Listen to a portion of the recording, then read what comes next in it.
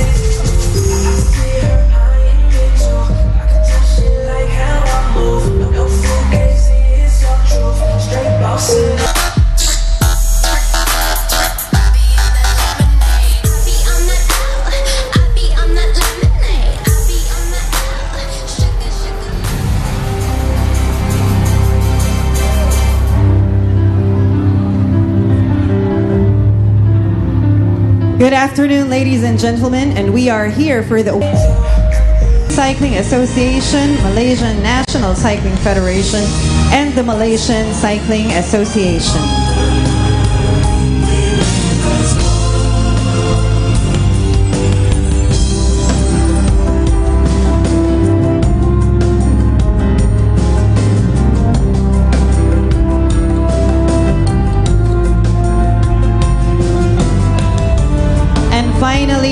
first place and winner of the gold medal from the Kingdom of Thailand, Pakpom Pusa Art.